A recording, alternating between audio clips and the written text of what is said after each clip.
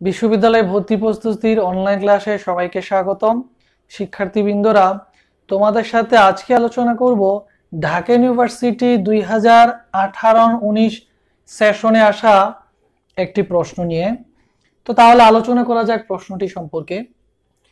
দশ কেজি ভরের বস্তুর উপর টু এফ বল প্রয়োগ করায় এর ত্বরণ হলো sixty metre per second square M ভরের বস্তুর উপর ফাইভ এফ বল প্রয়োগ করলে এর ত্বরণ হয় fifty metre per second square M এর মান কত?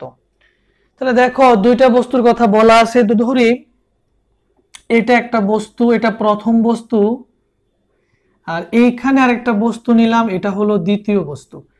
প্রথম বস্তুর উপর যখন টু এফ বল প্রয়োগ করা হলো, তখন তার ত্বরণ পাওয়া গেল সিক্সটি দ্বিতীয় বস্তুর উপর যখন ফাইভ এফ বল প্রয়োগ করা হলো, তখন তার ত্বরণ পাওয়া গেল ফিফটি এখন দেখো, বলা হলো যে প্রথম বস্তুর ভর যদি টেন কিলোগ্রাম হয়, দ্বিতীয় বস্তুটার ভর কত? তাহলে দ্বিতীয় বস্তুর ভর দেওয়া আছে এম তাহলে এম এর মানটা বের করব। এখানে একটা জিনিস উল্লেখ্য, এখানে কিন্তু প্রযুক্ত বল এফ এর দুই গুণ দ্বিতীয় বস্তুর ক্ষেত্রে প্রযুক্ত বল এফ এর পাঁচ গুণ। তাহলে আমাকে প্রথমে জানতে হবে এফটা কত।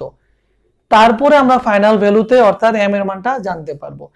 তো আমরা যদি এভাবে সাজাই, প্রথম বস্তুর ক্ষেত্রে প্রযুক্ত বল টু এফ প্রথম বস্তুর ভর টেন কেজি প্রথম বস্তুর ত্বরণ sixty metre per second square দ্বিতীয় বস্তুর উপর প্রযুক্ত বল ফাইভ এফ দ্বিতীয় বস্তুটি ত্বরণ fifty metre per second square দ্বিতীয় বস্তুটার ভর M two equal capital M তাহলে আমাদের অঙ্কটা করতে খুব সুবিধা হয়।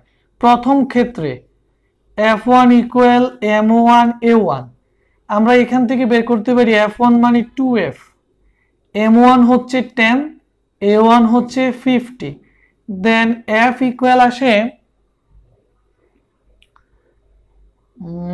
কত আসে? টু এফ সরি এটা মান দেওয়া আছে সিক্সটি।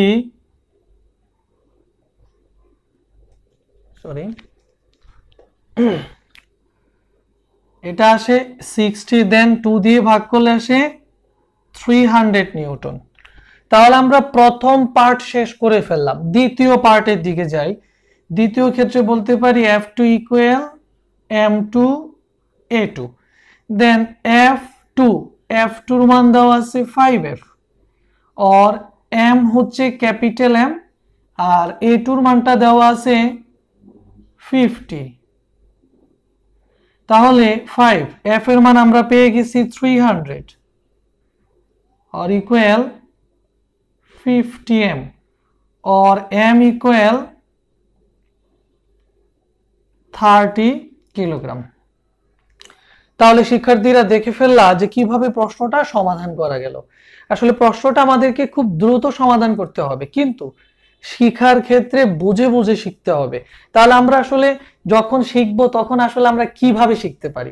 প্রথম ব্যাপারটা হচ্ছে এই, যেহেতু প্রযুক্ত বল এফ এর গুণফল, দ্বিতীয় ক্ষেত্রেও প্রযুক্ত বল এফ এর গুণফল, তার মানে বোঝা গেছে এফ এর একটা নিশ্চিত ভ্যালু আছে। সেই ভ্যালুটা জানার জন্যই প্রথমে আমাকে এফ এর মানটা জানতে হবে।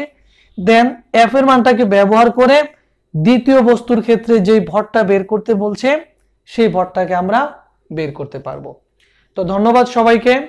অবশ্যই চ্যানেলটি সঙ্গে থাকবে এবং চ্যানেলটিকে সাবস্ক্রাইব করবে। আল্লাহ হাফেজ।